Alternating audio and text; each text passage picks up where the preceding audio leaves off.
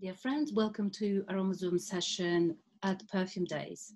Today we have a special guest from St. Petersburg, Russia, Elena Arsenьeva. Elena is a perfumer, a perfume collecting historian, and a founder of the Museum of Perfume in St. Petersburg. She also runs perfume making training courses that give opportunity to many Russian perfume lovers to become professional perfumers. Добрый день всем! У нас сегодня в гостях Ирина Арсеньева, парфюмер, лектор и основатель Музея парфюмерии в Санкт-Петербурге. Человек множества талантов, о которых мы еще упомянем сегодня во время встречи. Элина, большое спасибо, что вы к нам до нас сегодня виртуально дошли, и хотелось бы вас очень поздравить э, с Днем Победы. Спасибо.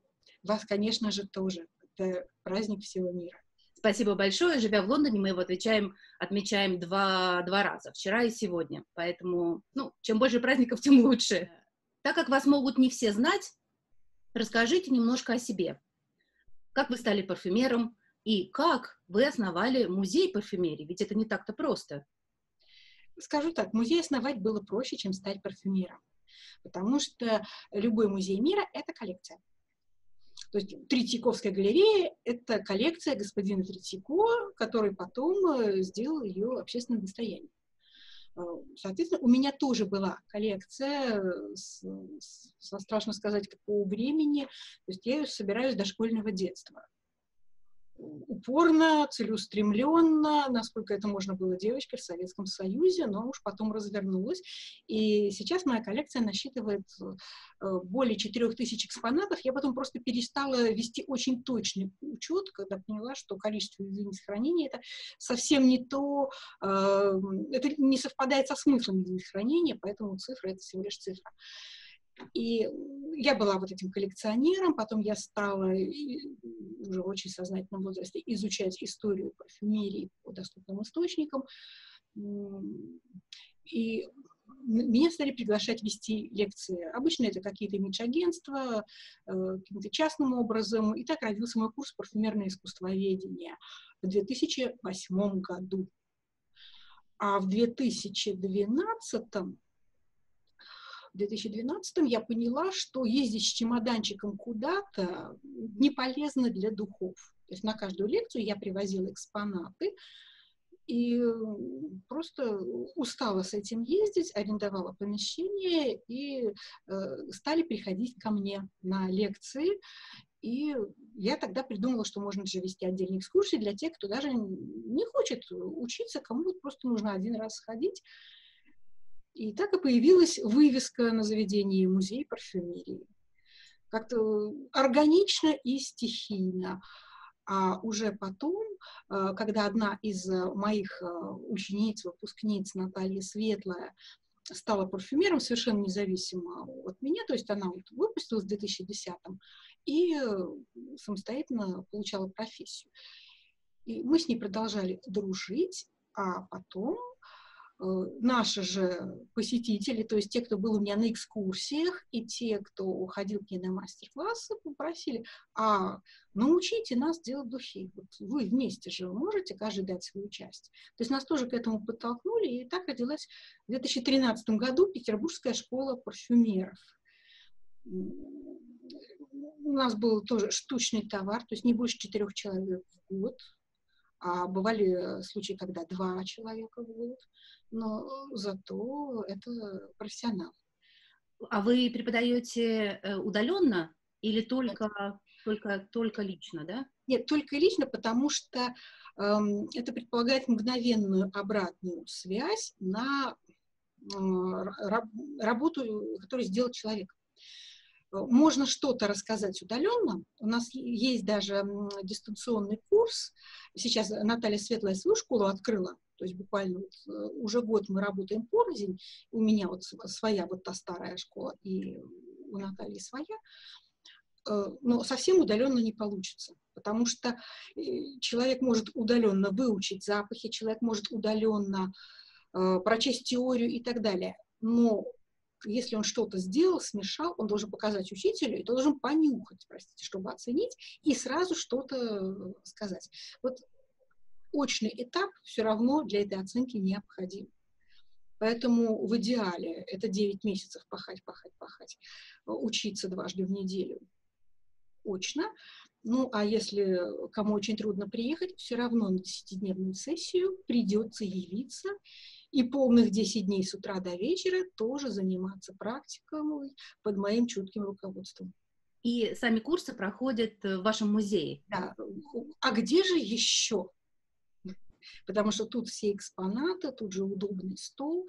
Слава богу, парфюмеру не нужны огромные пространства, э, достаточно просто, чтобы был стол, где все это можно разложить, расположиться, и немножко химической посуды когда попадаешь в ваш музей, центр у Петербурга очень большой, но когда попадаешь именно э, в район, где находится ваш музей, ощущаешь старинный Петербург. И вот в вашем музее атмосфера дореволюционной российской квартиры, причем такой квартиры, из которой ни одно поколение женщин не выбрасывало духи, которыми пользовалось предыдущее поколение. Ну, собственно, да, объясняется 4 тысячи, больше, чем 4 тысячи экспонатов. Я хотела у вас спросить как раз, какой самый-самый старый э, из ароматов или флаконов у вас есть в коллекции? Поскольку сейчас репортаж не из музея, а у меня из дома, из-за нашей вынужденной карантинной изоляции, я привезла сюда сколько-то... Большое спасибо. Да, вот, поэтому самый старый именно аромат я не привезла. Мне страшно его беспокоить. Это фужер рояль, э, фирма Убиган, э, не самый первый выпуск, но начало 20 века, и эти духи вполне еще живы. А вот экспонат, один из самых старых, э, именно вот флакон, и с чудесной историей, и визуально интересный, я привезла, э, кому-то он будет знаком. Смотрите, пожалуйста, на этого медведя. У меня сердце ушло в пятки. Вы его видели у меня, когда были? Я не помню, показывала вам или нет. Сейчас я, э, во-первых, покажу его, как вот крышка не снимается, да? То есть у нас э, тут притертая пробочка. Поднесу поближе, не знаю, видно или нет, что трещинки. Да, прям вот настоящие. Да, да. Настоящие. Э, это, Ирина, давайте Э, просто небольшое пояснение для тех, кто, угу. наверное, не знает этой техники и не подумал бы, что э, разбит флакон. Что это за техника? Это техника кракле, э, когда действительно флакон не разбит, а кажется, что трещинки настоящие, это такой декор.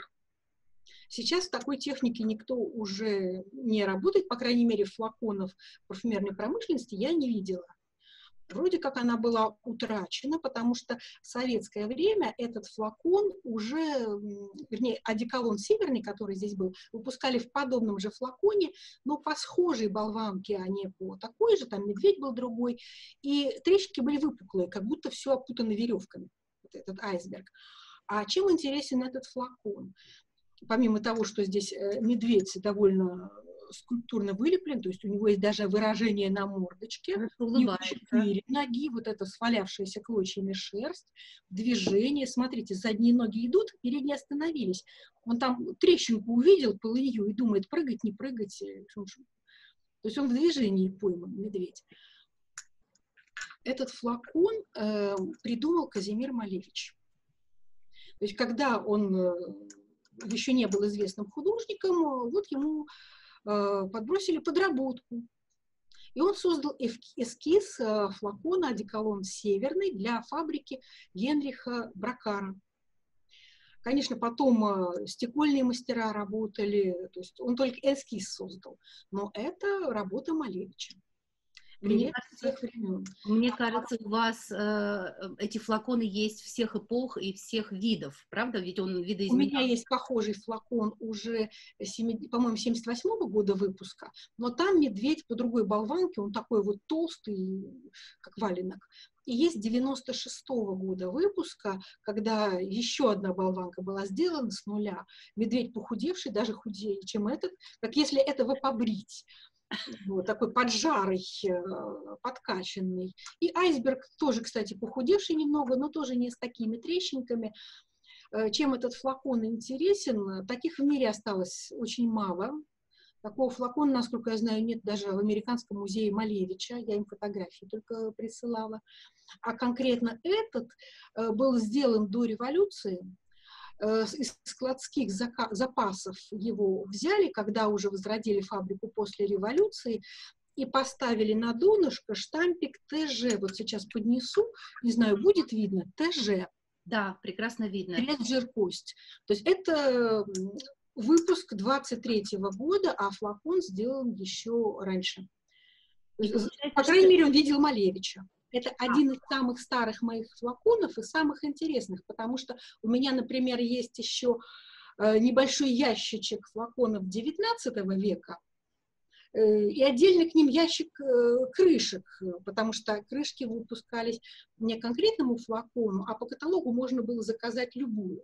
Поэтому, когда мы встречаем флакон 19 века, даже толком не скажешь, родная там крышка или нет. Но вести сюда домой ящик стекла я побоялась тоже, поэтому я выбрала вот, э, самое интересное и при этом старое, то есть по чуть-чуть здесь. Очень жалко, что нельзя просто вот взять музей и перенести, телепортировать как-то. Это правда. Но я думаю, что в этом случае мы бы с вами разговаривали до завтрашнего утра, потому что э, на эту тему нельзя э, очень коротко разговаривать. Хочется продолжать и продолжать. Это так. Э, люди, которые приходят на экскурсию, э, поначалу по телефону спрашивают, что там делать три часа. Именно эти люди сидят 6 часов, 7 часов. Потом голод заставляет их подняться в поисках еды. Конфеты съедены, чай закончился. Но все равно уже пора что-то посущественнее, чем конфеты спустя такое время. За духами можно провести полжизни и не устать. Это правда. А какой у вас флакон или аромат самый любимый из коллекции? Вот тут тоже очень сложный вопрос, потому что обычно я на него отвечаю парой ящичков. Ну, потому это как Ксению Собчак спросить, какие у вас туфли самые любимые, при том, что у нее там, помните, какие-то квартиры этими туфлями забиты. Вот, э, то есть я могу сказать, какие направления, там, шипровое направление, э, например, отдельных авторов какие-то ароматы, а вот так, чтобы вот э, совсем вот любимый только один флакон, этого нет. Э, я очень люблю советское направление, несмотря на то, что сейчас э, принято считать, что оно устаревшее, что оно бабушкин запах. Ну, кто так обычно говорит? Во-первых, тот, кто не пробовал либо тот, кто запомнил, как бахнет бабушкин шкаф вместе со всей валерьянкой и нафталином. Потому что при слепых тестах обычно говорят, боже мой, какая прекрасная вещь, только жалко, что я в магазинах такого не встречала. Вы говорите, встречали, встречали, но это было в 80-х и 90-х. Нет, э, если люди, родившиеся в 1985-м, а это уже даже не молодые люди. Вот они-то не встречали уже. Это правда, да. И я как раз стараюсь сохранить э, вот этот удивительный пласт парфюмерной культуры, который э, и во всем мире это мало известен, потому что э, не так уж много наших духов шло на экспорт в плане объема. Мы к этой теме обязательно вернемся, потому что я знаю, вы делаете, вы возрождаете Реставрацией занимаюсь. Да, вы, да, да, да, вы возрождаете э, старинные, старинные ароматы, ароматы советской эпохи. Эм, и перед тем, как перейти на эту тему, эм, я хотела у вас спросить, какой у вас самый дорогой э, флакон в смысле стоимости, не в смысле э, э, душевной привязанности. Таких тоже сколько-то. Э, я не взяла некоторые. Вот сейчас покажу. Многие его, наверное, даже узнают. Это духи бандит. Вот сейчас, чтобы свет на них заиграл на этикетке. Это настоящий, это, это Настоящий, настоящий, тот самый, это винтажный. Потрясающий. Можно спросить, во сколько он вам обошелся? Ноль рублей, ноль копеек. Это подарок. По-моему, это лучший вариант. удивительно, но вот такие самые редкие дорогие экземпляры в основном мне доставались каким-то вот чудом господним. Например, э, был случай не с этим флаконом, а с другим, тоже похожей редкости, одним из советских. А, один случайный, совершенно шапочный знакомый Э, вдруг позвонил и сказал, что он вернулся от матушки с Байконура, и там зашел к своей учительнице, она ему отдала пару старых флаконов, э, потому что вспомнил, что вроде как я собираю. И привез их мне, и достает вот эти раритеты.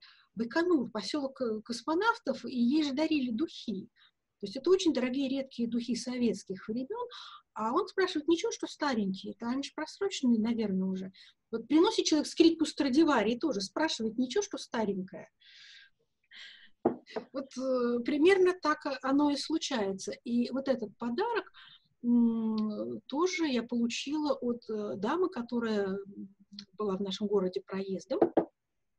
Ну, она там, следила за мной как-то по интернету, э, заочно даже были э, знакомы и сказала, что привезла то, что ей вот как-то не зашло из ее коллекции, в том числе бандит.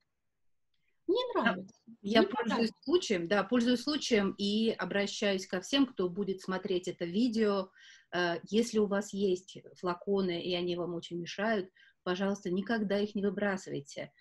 Первая линия Васильевского острова, музей парфюмерии Елена Арсеньева. Несите все ваши богатства туда. Если вы живете в Лондоне, несите ваше богатство сначала мне, и я их отвезу Элине в музей от вашего имени. Спасибо. Можно показать еще один вот такой же вот близкий сердцу раритет. Правда, этот мне достался с аукциона, и я за него билась как зверь на аукционе. Это черное домино советское.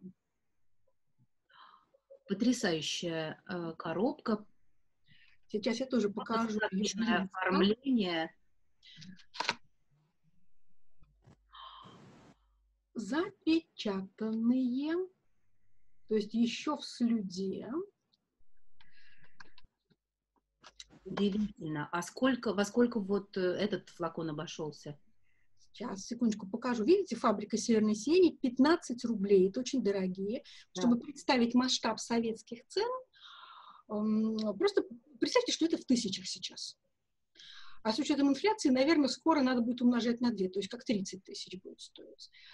И они были потрясающие еще тогда, а сейчас это полный раритет, его не найти. И на аукционе, видимо, было много таких людей, которые это понимают, потому что ставки росли, там вот перебивались и так далее. То есть э, это мне э, я сейчас точно цифру не вспомню, но это больше 10 тысяч, э, хотя обычно на такие советские духи, но не именно эти, а вообще эм, соотношение цены и объема, там в пределах 5 тысяч может это быть, и оно где-то вот стоит. Причем оказалось, что после аукциона проигравший звонил продавцу и просил там, там 50 тысяч, но только отдайте мне, а не тому, кто выиграл. В общем, вот такие бои. Э, а я за ними охотилась, то есть тут даже дело не в деньгах. Я их искала лет 20. Удивительно. Хотя, а... Хотя бы остаточек. Mm. Вот именно в этом оформлении. Хотя бы остаточек. И тут я вижу полный флакон запечатанный. Да, в хорошем состоянии. От крышки идет запах, они там в сохранности. Потрясающе. А какого года выпуск этот флакон? А это 70-х годов, начало 70-х. Э, Вера Локоткина, я знаю, что сделал, просто на ней должен быть где-то штампик вот, про конкретный выпуск. Где-то обязательно ОТК ставил штампик. Ну, сейчас посмотрю флакончик этот разбирается на самом деле. Вот. Видите, можем посмотреть. Он вот на такой бархатной подложке. И то, но штампики не, не хватает, да, не хватает, потому что они выпариваются со временем, да? Да, они выпариваются, но посмотрите, нет осадка. Нет, цвет прекрасный, да, да, цвет прекрасный, да. Главное, что они от горлышка чуть-чуть пахнут, и они пахнут хорошо. Э, Причем вот издержки советского нейминга, например, кроме слова «духи», мы здесь нигде не найдем никаких названий. Потому что название уже есть на коробочке. Как говорится, ты что, не знаешь, что ты купил? Знаешь. Да. И поэтому коллекционеры, встречая такие флаконы по отдельности, иногда не знают, что это черное домино. И были те, кто ко мне обращались с вопросом, а что это? И был даже такой, который владел отдельно коробочкой и отдельно флаконом. А я бы сказала, совмести. Я знаю, что у вас э, бывали интересные э, находки, э, совершенно неожиданные. Э, вы показывали небольшую пудреницу или, или эм, э, баночку от крема, которую продавали как солонку за копейки. Совершенно верно. А если перевернуть, там написано Герлен. Салон 20 века. Только это баночка из-под крема э, серии «Жемчуг», потому что на темно-синей лазури там э, как будто перламутровые жемчужинки, вот такая вот э, полоса кругляшков. Потрясающий орнамент. Замечательно. Все эти а... знания приходят из каталогов, из того, что ты все время смотришь что-то. Потому что я тоже с этими знаниями не родилась. Я постоянно держу себя в форме тем, что я изучаю те же аукционы, блоги, литературу. Э, в этом плане нельзя остановиться, узнав раз и навсегда все. Да, э, сейчас, наверное, существует только одна опасность. Э, очень много есть информации в интернете, но чем больше ты изучаешь, тем больше ты замечаешь ошибок, которые потом перепечатываются из одного поста в другой, со ссылками на третий, может быть, да, то есть нужно всегда обращаться к источникам проверенным. Это всегда как работа следователя, потому что чаще всего перепечатывают не достоверную информацию, а ту, которая лучше подана. Ну вот замечательный пост, репостну-ка я, правильно? И чаще всего попадают в сеть истории, которые восхваляют там какую-то там, национального парфюмера, вот Эрнест Бо русский, и это все перепечатывать, а то, что он француз, э, статистически печатают гораздо меньше, например, и так далее. Поэтому каждый раз нужно доискиваться до правды. Мне очень повезло в этом плане. У меня была одна студентка, Анна Герасимова, московский парфюмер, натур-парфюмер. Еще тогда же мы в 2009 году. И она перед каждой лекцией мне давала список вопросов, после каждой лекции еще один список вопросов, что называется, кто кого экзаменует. И вопросы были такого плана. Вот у вас упоминается, например, такая-то дата, такое-то сведение. Я в трех разных источниках нашла разное. Вот, пожалуйста, скажите, почему вы считаете, что именно это достоверно? Э, зная, что человек э, проверит все, не потому что ему хочется меня на чем-то подловить, а потому что она просто ищет истину. Вот эти лекции у меня подготовлены, наверное, тщательнее, чем я во всех институтах писала все работы. И э, расписание ваших лекций, список того, что вы предлагаете, можно найти как раз на сайте, который мы видим э, за вашим левым плечом, да? Э, Не совсем так, потому что у меня же слишком много уже всего. Музей, школа и даже собственный бренд. А, мы видим здесь э, сайт музея. А вот с сайта музея уже ведут ссылки и на бренд, и на парфюмерную школу. Прекрасно. Все равно начинаем мы отсюда, parfmuzей.ru. Замечательно. И там все можно посмотреть, и да. расписание, и стоимость. Я знаю, что иногда вы проводите э, бесплатные бесплатные экскурсии, да, то есть как бы дверь, э, день открытых дверей экскурсия, то есть бесплатная экскурсия, по-моему, это нереально, потому что это день работы музея. Любая экскурсия – это день работы музея. Я устраиваю выставки. Mm-hmm. И вот туда у меня вход действительно бесплатный. Э, сейчас 9 мая должна была быть выставка эм, Ленинградская сирень, и если бы не карантин, поэтому я ее перенесла на 20-21 июня. Я надеюсь, что все-таки в конце июня нас выпустят э, гулять по музеям, в том числе и ко мне на выставку. Да, а нас выпустят к вам. Да. А, до этого я проводила выставку «150 лет истории парфюмерии», где тоже э, раз в месяц двери музея открывались, и бесплатно любой желающий мог прийти и перепробовать все, там, ничего за это не заплатив. Да.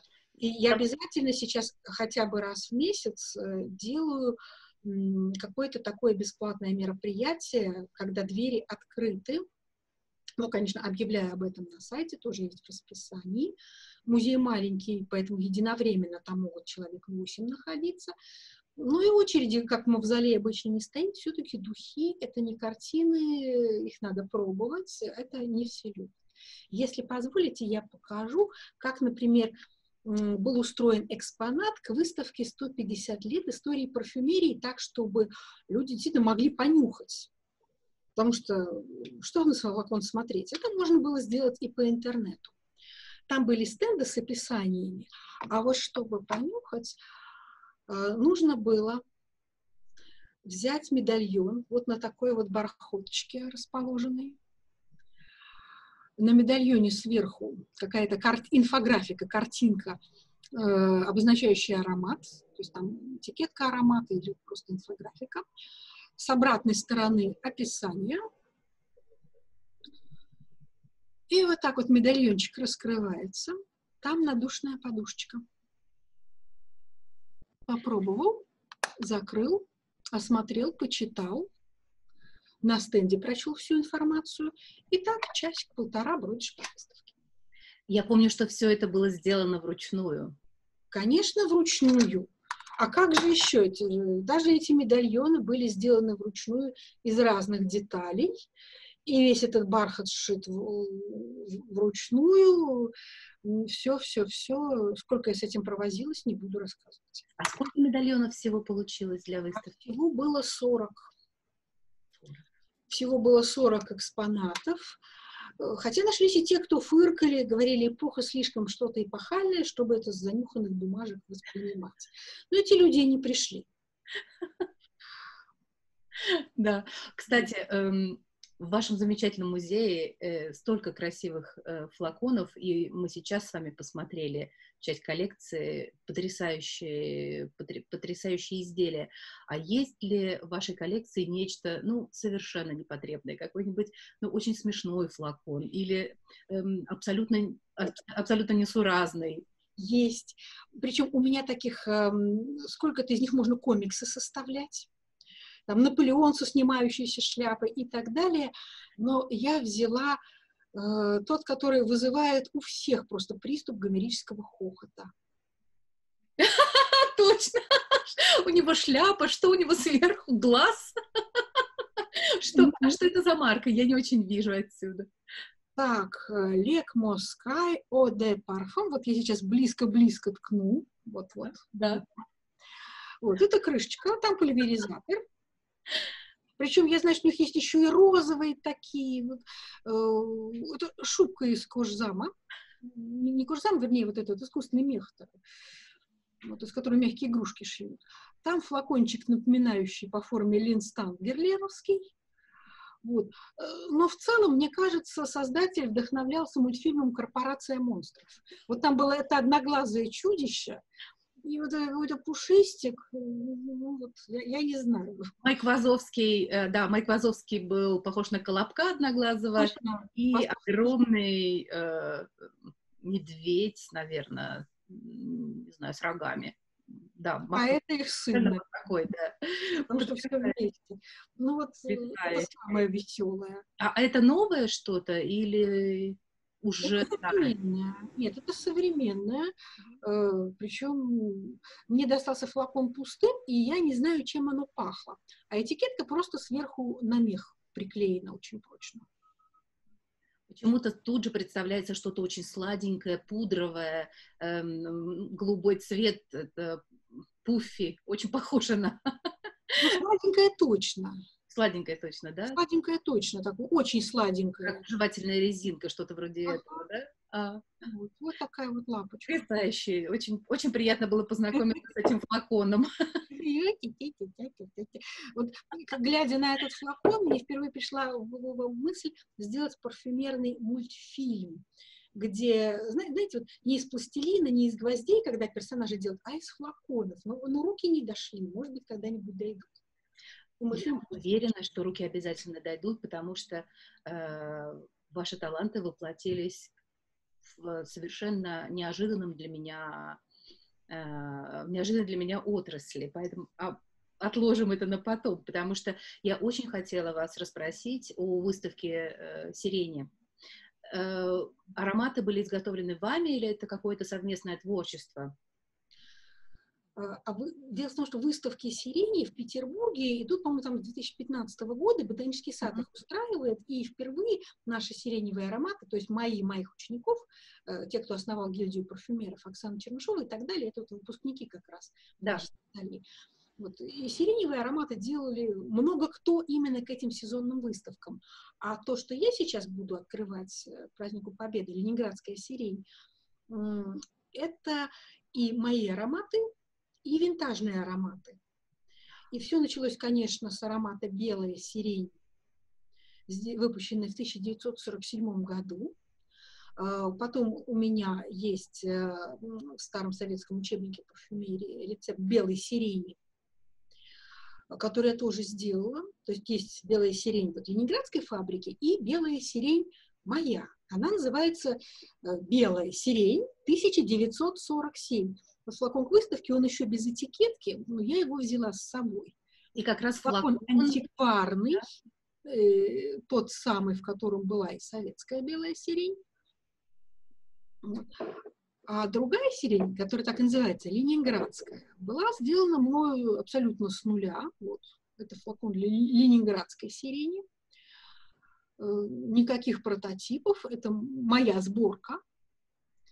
И он тоже будет на выставке. И на выставке, конечно же, еще будут винтажные та белая сирень и винтажные ленинградские ароматы. Ленинград, воздух осени, там что-то еще. У меня есть и свои духи Ленинград тоже не, пов... не реконструкция, а свое собственное видение ленинградской стилистики. И вот они уже налиты вот в такие флаконы. Да, я видела это у вас на страничке в Инстаграме. Э, прекрасный винтажный флакон в стиле арт-деко. Э, советский, советская эпоха. Да. И теперь я могу сделать его своим фирменным. Благо, мой бренд тоже называется Art Deco Parfums, потому что мне повезло. Эм, меня нашел клад, то есть меня нашел. И у меня теперь таких флаконов много. Пустых, новеньких с фабрики. Я желаю вам как можно больше таких э, совпадений, э, сюрпризов и, и кладов, потому что они попадают в правильные руки, абсолютно в правильные руки. Итак, э, на выставке 20 и 21 числа у вас будут ароматы... Ленинградские винтажные. Ленинградские винтажные и... И мои и реконструкции, и самостоятельные ароматы в ленинградской стилистике. То есть больше всего эта выставка порадует тех, кто любил продукцию фабрики «Северное сияние» и печалится ее закрытии. Так, кстати, э, у них есть музей, я знаю, который можно... Был, был музей? Уже был. Боже мой, что же случилось э, с музеем? Я надеюсь... Я он сейчас где-то в частных руках, mm. потому что уже несколько лет подряд э, туда нет посещения, и я пыталась даже самым высоким руководством связаться, Э, как речь доходит э, об этом музее, молчание, игнорирование писем и так далее. А по другим источникам я узнала, что это уже прибрано в частные руки. Даже то, что пытались сохранить при том, что фабрика уже принадлежит голландцам, вот, э, бывшие сотрудники фабрики на ней выгородили, что называется, уголок под музей. Вот даже это уже все прибрано в частные руки нам это будет недоступно. Да, к сожалению, эм, подобные вещи должны быть обязательно доступны всем, потому что нельзя хранить такое достояние только для себя. Ну, это просто в частные руки ушло уже.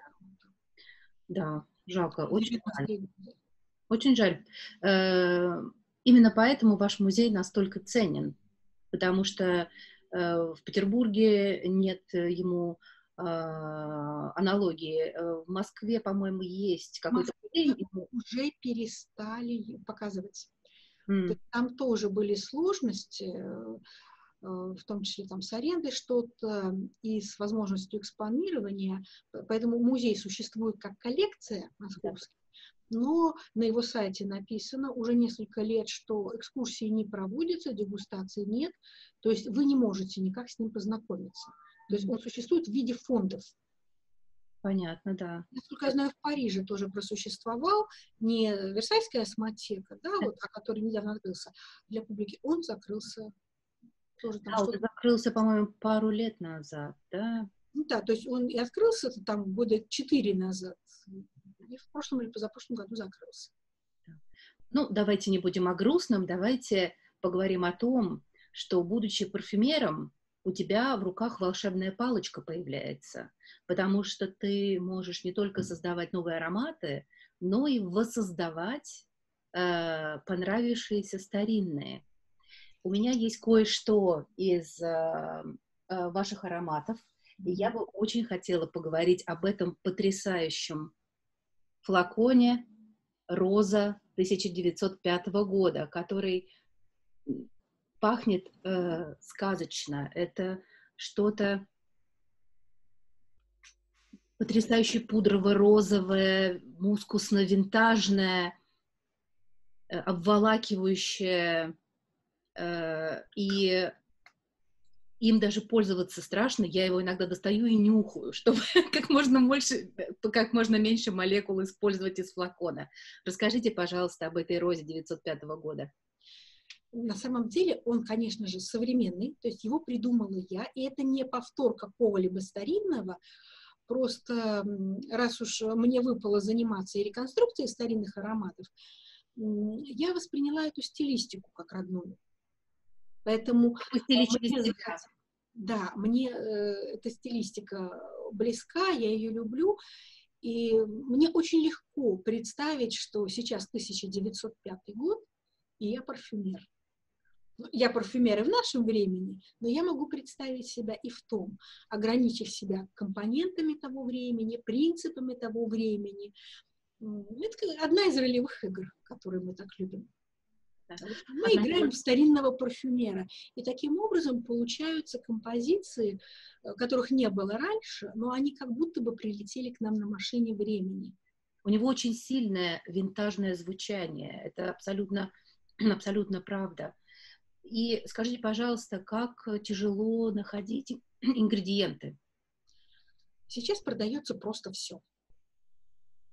Слава интернет-магазинам, слава таможне, которая это все пропускает через границу и не назначает это прекурсорами или чем-то еще запрещенным.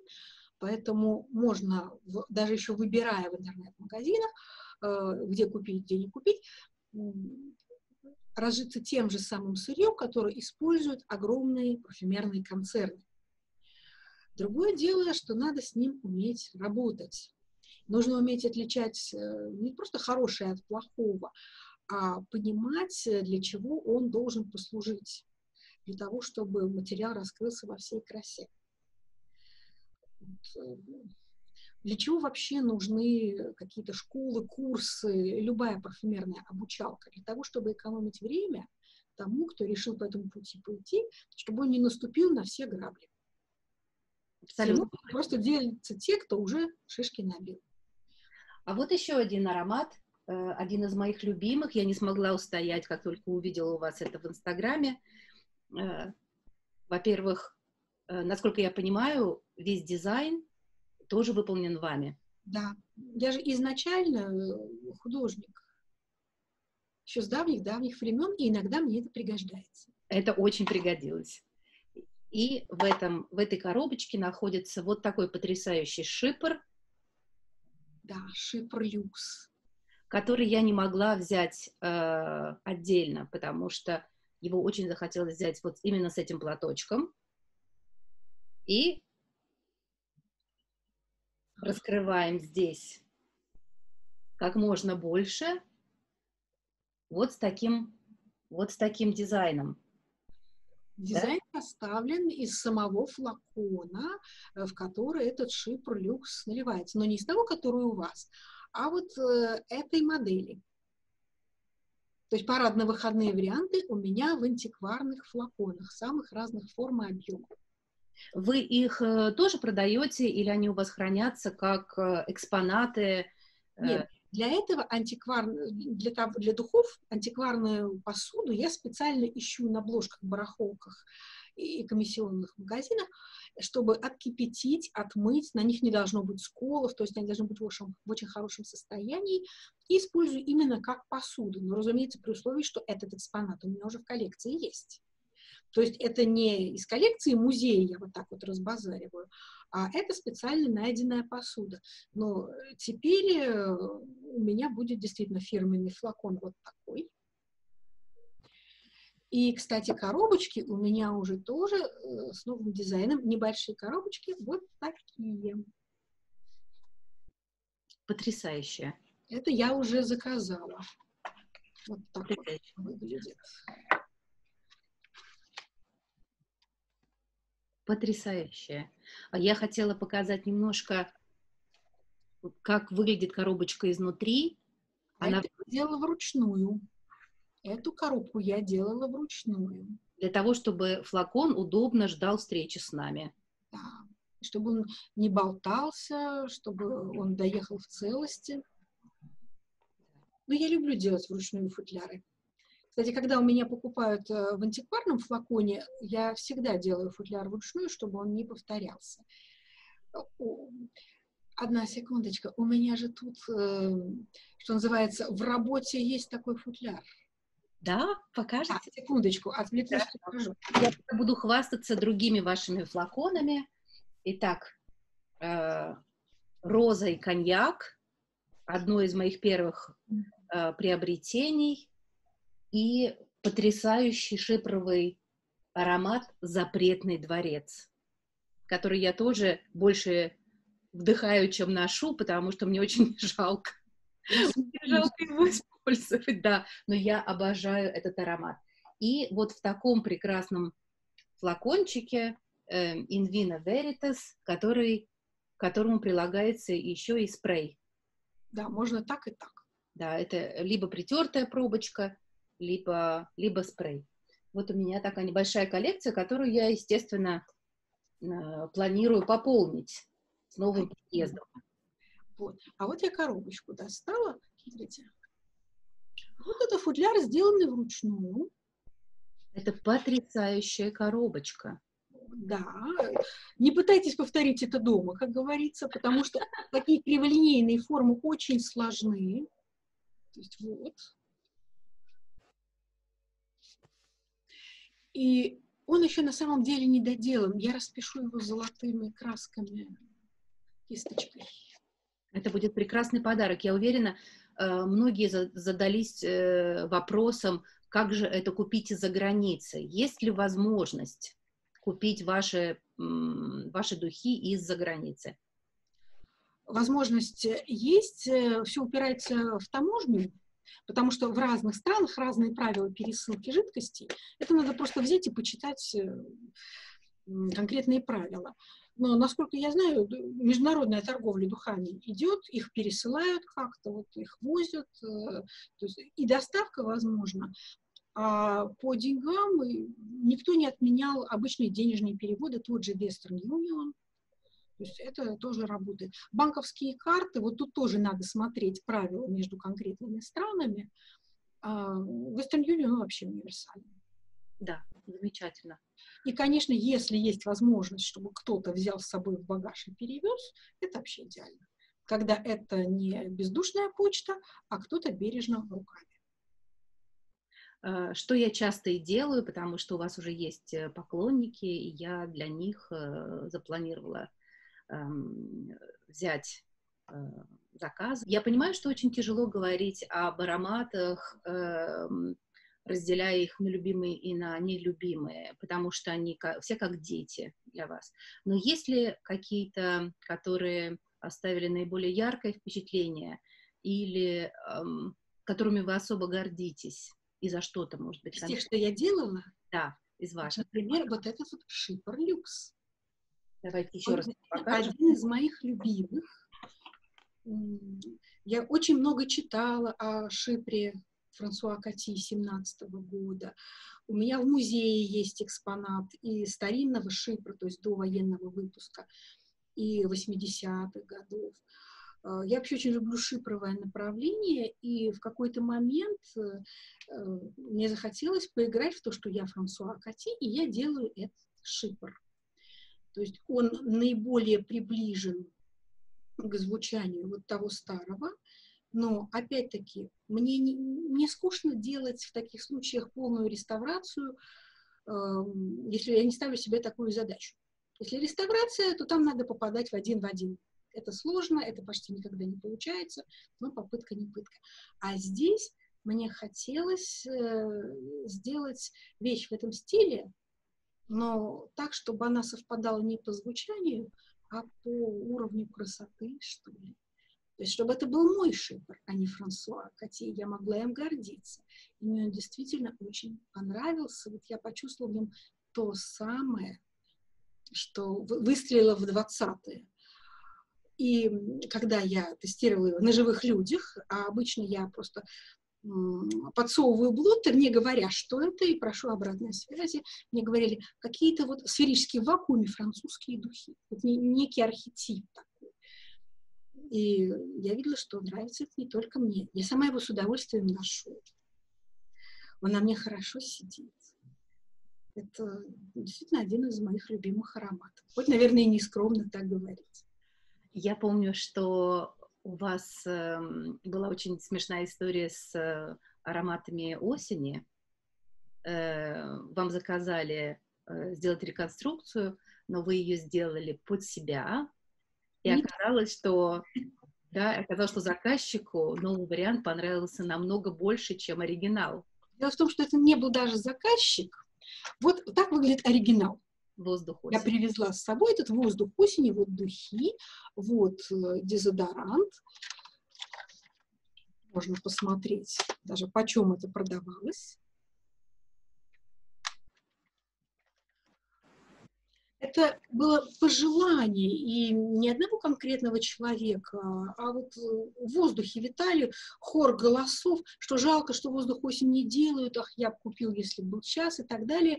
Я лет 10 слышала вот этот вот хор голосов, и одна моя знакомая сказала, что вот здорово бы, вот вызелись бы, что ли, ну, блин, у вас все возможности есть, что ж вы сидите и тормозите. Вот. И я подумала, что ну действительно, а чего? И стал этот воздух осенью, вот оригинал, пробовать, оценивать. Я э, почитала про него разные источники, там отзывы. Я всегда читаю еще отзывы, кто что в нем услышал, потому что мой нос тоже несовершенен. Я ориентируюсь еще и на мнение других продвинутых носов. И поняла, что вот оригинал мне не нравится.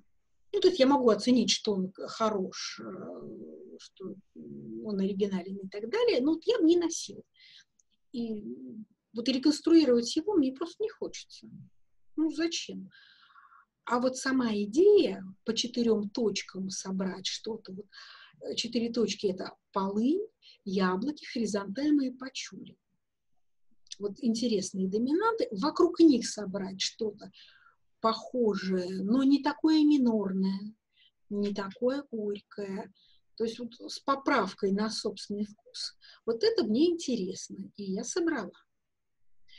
И Поэтому я никогда не говорю, что это вот прям реконструкция воздуха осени. Да, он у меня был э, перед глазами, когда я делала, но я не старалась сделать его. Я сделала так, как сделала бы я. И действительно, э, тем, кто любил старый воздух осени, в половине случаев мой или тоже нравится, или нравится даже больше. Я слышу много хороших отзывов. Некоторые люди говорят, да вообще один в один. Но сравнивают они не с оригиналом, а с воспоминанием. Конечно. Вот поэтому я не могу отвечать за тех, кто считает, что он совпадает, или за тех, кто категорически не совпадает. Я знаю, что они не совпадают, и даже знаю, в каких нюансах. И это сознательно. Он более теплый, мажорный. Э, Элина, ведь у вас есть еще один очень интересный аромат, осенний, эм, который, кстати, во время э, моей лекции о современной российской парфюмерии в Пушкинском доме в Лондоне эм, был, наверное, самым популярным ароматом. И э, все пробники, которые у меня были, я эм, раздала страждущим. Это, конечно же, одеколон ежиков. Не просто ежики, как их называют. Не просто ежики.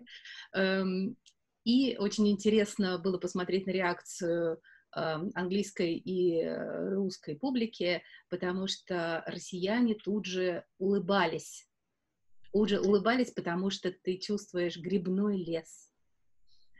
У англичан ассоциация срабатывала с э, э, старинным винным погребом. Ну, где они могли еще эти грибы понюхать? Да.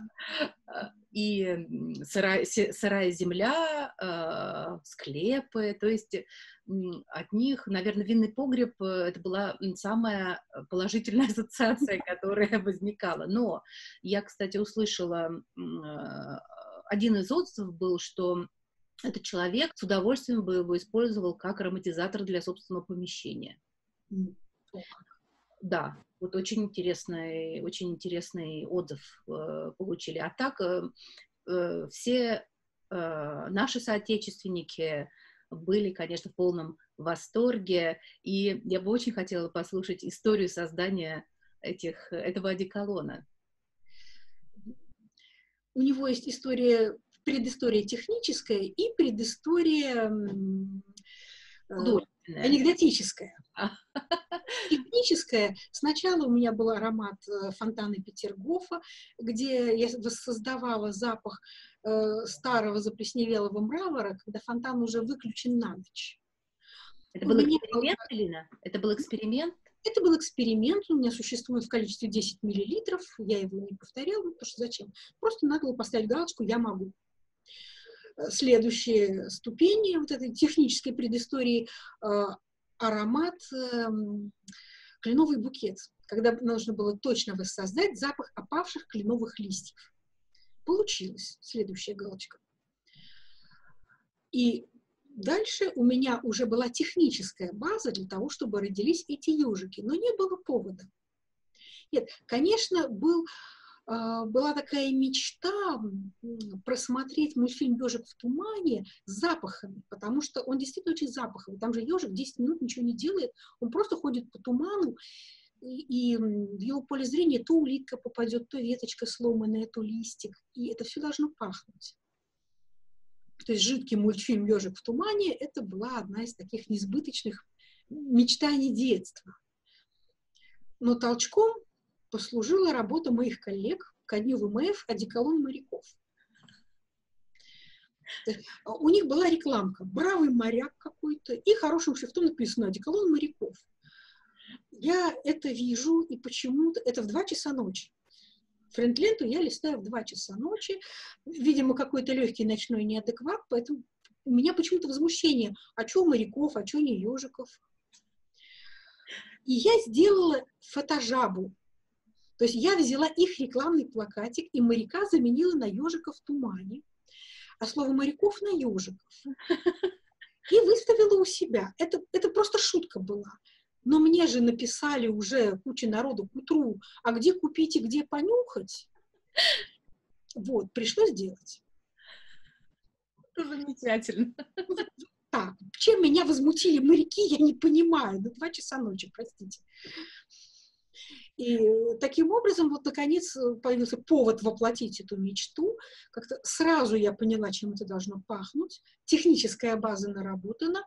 С момента, как я села его делать до получения готового образца, который я потом уже не меняла, то есть готовая рецептура, 40 минут ушло. И он доступен до сих пор, правда? Да, потому что вот э, у меня и всего несколько таких хитов, которые годами люди спрашивают, и ежик один из них. Да, это потрясающий э, арт, э, арт-объект. да? объект. Да, и... Более того, э, секундочку еще, а, я же отвезла его Нарштейну, автору мультфильма «Ежик в тумане». Мне удалось э, с Юрием Борисовичем познакомиться, подарить ему этот аромат. И он сказал, надо же, когда мы с Франческой делали этот мультфильм, она сказала, что он такой запаховый, а никто такого аромата не сделает. И вот мы дожили, вот его кто-то сделал. То есть автор мультфильма в курсе. Получается, что настолько все переплетено и связано э, друг с другом, что иногда просто требуется какое-то время, чтобы эти люди встретились или эти предметы встретились, да? И... Так и есть. Просто нужно иногда подождать. Удивительно, удивительно. Это один из моих самых э, любимых ароматов. Эм, я бы не сказала, что я носила бы его, хотя он может интересно раскрываться на коже. А, но так как у меня разобрали все пробники, э, мне придется подождать встречи с вами, э, чтобы посмотреть, как это будет э, выглядеть действительно, если я использую его по назначению. Вообще мне идея сделать аромат для дома, то есть не в формате духов его выпустить, а в формате аромата для дома. Да, потому что там ведь не только сыра земля, и плесень, и склепы. Там, я бы сказала, нет вообще. Там э, опавшая листва, причем да. не гнилая, а вот она опала и э, просто пару дней на земле полежала.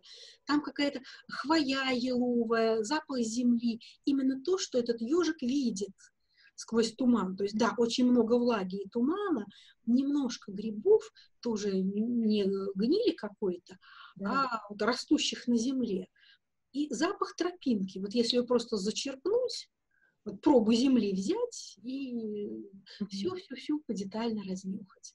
Этот аромат очень бы понравился людям, которые знают, что такое э, русская осень, и живут сейчас э, за границей, где таких ароматов нет осенью. А над чем вы сейчас работаете? А сейчас у меня зреют два винных аромата. Э, москвичи объявили конкурс э, с тех заданиями, я тоже приняла в нем участие. Он состоится когда-то летом после карантина, точная дата пока не знаю, но сделала ароматы я уже сейчас. Один посвящен э, темным винам, другой светлым. Конечно, все фантазийные, я не пыталась э, повторить запах каких-то вин, и они уже нравятся мне самой. Это хороший показатель. Жду, пока созреет. Просматривая э, вашу страничку в Инстаграме, я увидела интересную фотографию с ароматным фонтаном. Mm-hmm. Мне это тут, тут же напомнило немножко историю с э, Бракаром. У него она и была взята. А, понятно, хорошо. Ну, расскажите чуть-чуть побольше, потому что я очень надеялась, что это будет постоянная экспозиция, можно будет приехать и погулять вокруг этого фонтана.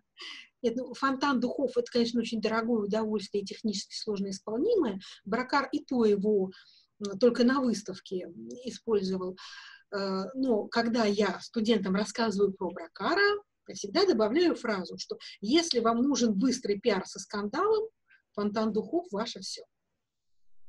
То есть э, давка, все это было, все это было. Да, все да? это было. Причем э, то, что была давка у Бракара, понятно, всем разрешили набирать как угодно, и пожалуйста.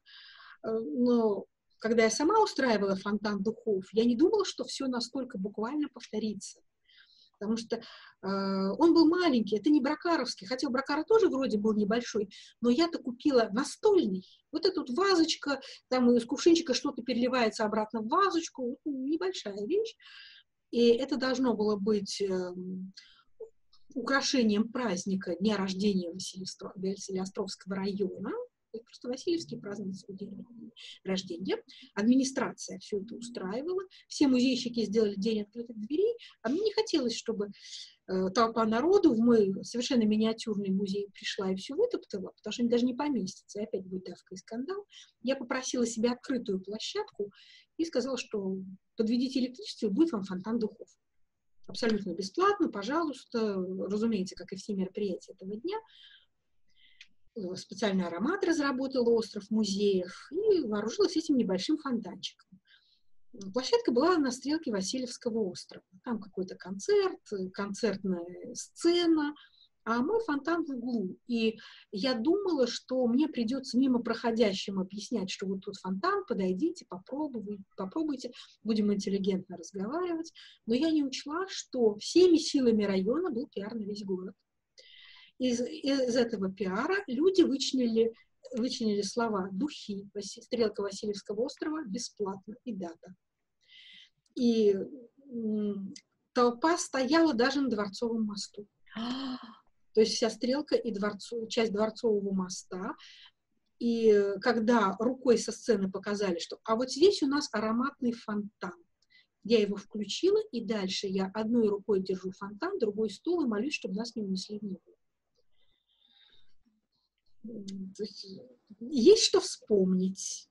Напоминает мульти, мультфильм «Ограбление по-американски», когда, э, когда да. Все почитательницы набрасываются на... Да, да, это было примерно так, причем только что эти люди стояли мирно разговаривали, во что люди превращаются в толпе. Видимо, как у Бракара тогда же тоже макали шарфики, беретки, Э, локти пальто, там вот все это было. Бабулек с большими банками, видимо, отгоняли еще в самой толпе подальше, потому что я их видела размахивающих банками, но близко их уже не было. Вот. И это было в 2015 году, и, по-моему, в 2018 э, мои коллеги, гильдия парфюмеров, они сделали немножко по-другому, но я считаю еще круче они договорились с летним садом. Какая Летний прелесть. сад отдал им на несколько фестивальных дней, вот там, по чуть ли не неделя, фонтан. Вот я не помню, как он назывался, шахматным, ну, такой настоящий фонтан. Настоящий фонтан. Заправить его в воду ароматным дополнением.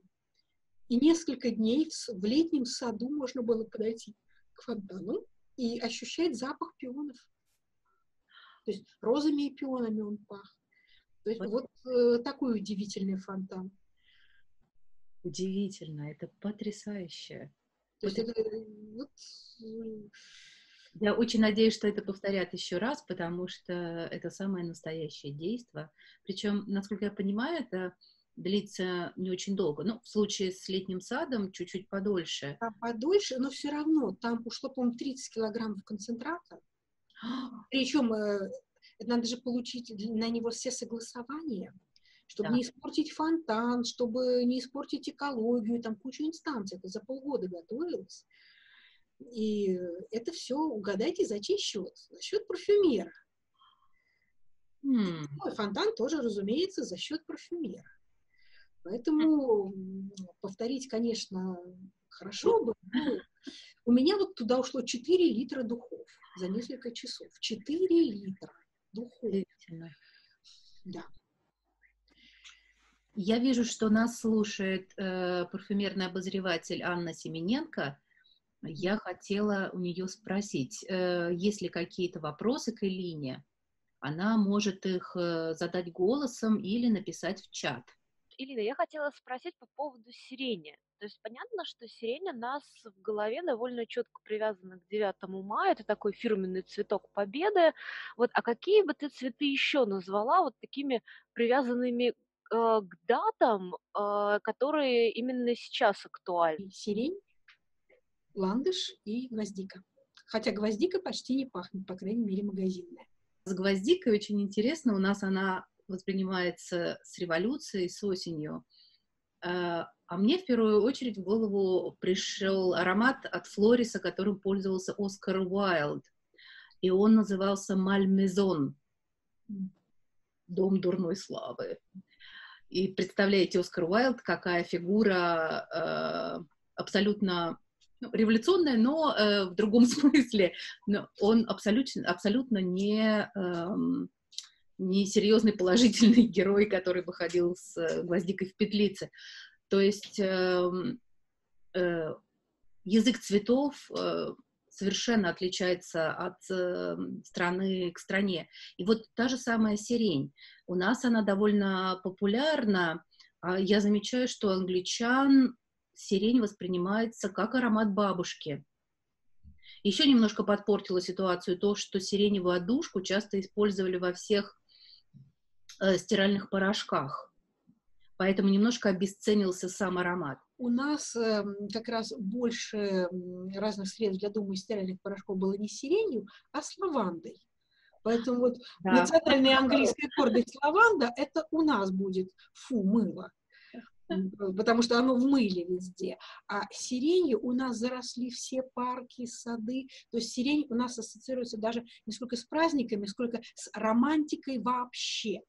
Правда. И романтика еще 19 века с тургеневскими барышнями, вот э, с неким образом э, Россия, которую мы потеряли. Анна, я вас перебила. Э, у вас есть еще какие-то вопросы? Вот, ну, наверное, пока нету, потому что э, если я начну спрашивать про то, как э, делать какие-либо духи, какие есть парфюмерные секреты, это будет не очень хорошо. Ну и к тому же, поскольку я сама духи не делаю, не очень красиво. Э, вот, а с другой стороны, наверное, я очень хочу пожелать э, Элине удачи с выставкой, потому что из-за этого карантина все пошло наперекосяк, но я действительно ее очень жду. Вот, и можно будет, наверное, еще застать живую сирень, вот, и сравнить, как получилось принести, может быть, даже гроздья в музей, вот, э, сделать такой оттенок аромата, что получится смешение. Большое спасибо. Мы тоже с нетерпением ждем этой выставки. Надеемся, что можно будет приехать в Петербург как раз в конце, в конце июня было бы абсолютно прекрасно. Ирина, есть ли у вас еще какие-то э, прекрасные ароматы э, показать нам сегодня? Показать сейчас то, что еще мне было показано, опять-таки два ленинградских. Два ленинградских. Один из них называется Офелия. Потрясающе нежности. Вот. Как всегда, показываю заднюю сторону, чтобы вы видели 15 рублей за вот такого малыша. Тут 10 э, миллилитров.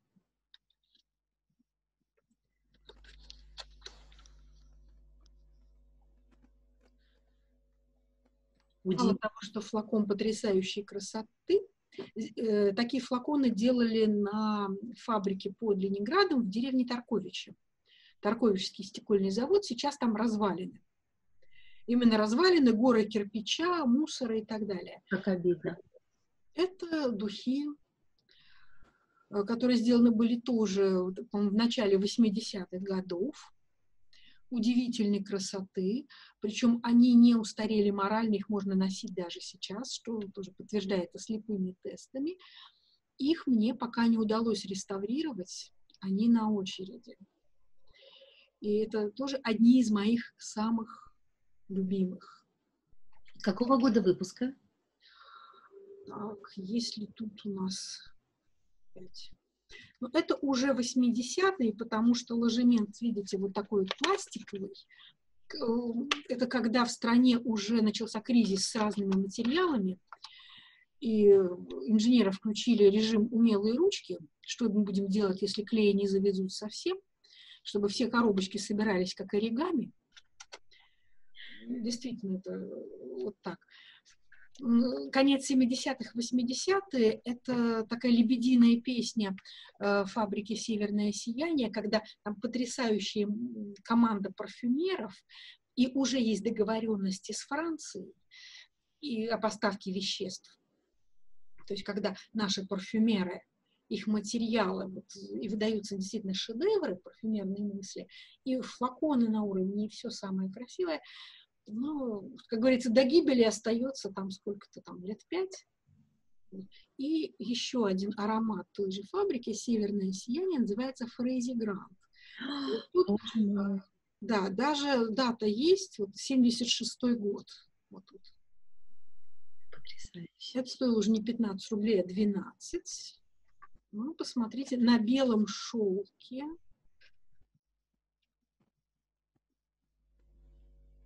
Потрясающе. Такой же флакон. Флакон такого типа был типовым для дорогих духов ленинградской фабрики. а впервые его сделали для духов «Аврора» и «Балтийские». Когда, вот, э, просто представьте себе, один такой флакон, рядом флакон похожий, но только не вверх скосы, а вниз. Так что, поставив рядом, они совпадают. И замыкается еще таким же. Да? Получается кораблик и три трубы «Аврора». Потрясающе. А это была вот такая разработка. И Фрейзе Грант удалось реконструировать. А как они сейчас называются в реконструкции? А, в реконструкции это аромат «Невский ветер». Удивительно. И насколько близка реконструкция к оригиналу? Вот я, конечно, сравниваю с теми оригиналами, которые у меня. Не один флакончик у меня в Фрейзи Грант, а разные, потому что они все по-разному немножко старятся. И я сделала тот, который, вот, скажем так, похож на все. Вот это вот среднее найдено. И похож очень. Вот э, так, что при слепых тестах часто не отличали опять-таки, когда люди сравнивают с воспоминаниями, там бывают расхождения. Иногда говорят, ваш Невский ветер, конечно, не Фрейди Грант, но очень-очень-очень приличный аромат и так далее. А так надо доверять лишь собственному носу и сравнивать лично. И даже моей рекомендации не верить, э, потому что единственный судья – наш собственный нос. Э, мне очень нравятся эксперименты, которые вы делаете. Я помню, удивительный аромат, аромат э, аэропорт, который вовсе не пахнет э, машинным маслом, а наоборот э, мартини. Мартини да? с кондиционером самолетным. Мартини с кондиционером, да. Но это же запах отпуска, он просто называется аэропорт, а он был создан по пожеланиям моей подруги, что она хочет ощущать себя в отпуске. То есть прилетела в какую-то жаркую страну, но из самолета еще не вышла, уже там где-то вдали двери открыли, народ выгружается, а она предвкушает отпуск весь впереди.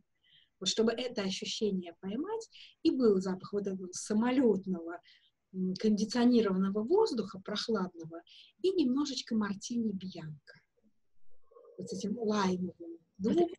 Да. Он просто я очень помню, Да, я помню потрясающий вкусный аромат, э, да, который был с удовольствием э, э, носила. Он очень, э, он очень просится на кожу. А летом он еще и охлаждает, как настоящий кондиционер. Вот такое у него свойство. Так что скоро наступит его время. Это, это, уже, это уже чудеса, из разряда чудес ну, это какое-то психосоматическое влияние. Да, точно. Вот. И я хотела поблагодарить еще раз за то, что вы нашли время, чтобы связаться и ответить на все эти вопросы. Главное, принести такое количество экспонатов из музея домой, чтобы мы на них посмотрели. И это только э, небольшой пробный небольшая пробная встреча для того, чтобы разжечь аппетит у всех, кто нас смотрит и слушает, и чтобы э, у вас было намного больше посетителей, они могли бы прикоснуться к этой прекрасной коллекции и к тому, что вы э, делаете. Я знаю, что у вас есть э, частные клиенты, которые делают заказы, и вы можете изготовить аромат по заказу, под, да, под клиента, у вас есть иностранные клиенты, российские клиенты. И я очень э, надеюсь, что и вот эта наша с вами небольшая беседа послужит дальнейшему э, процветанию вашего дела, будь то лекции, будь то обучение, музейная работа и, конечно же, коллекция. Коллекция, чтобы ваша коллекция пополнялась и сохранялась для будущих для будущих поколений. Вам спасибо. И можно еще э, напоследок э, всем, кто нас видит, сказать, что на сайте музея можно еще скачать выпуски вот этой газеты «Частный парфюмер». Или можно, кстати, прийти... Она... Да, можно... Вот, она тоже есть. Да, у меня кое-что, да, кое-что осталось еще э, с э, лекции в Пушкинском доме. Э, несколько экземпляров вашей замечательной газеты, поэтому если кто-то хочет связаться, э, я могу при возможности встретиться или переслать эту газету.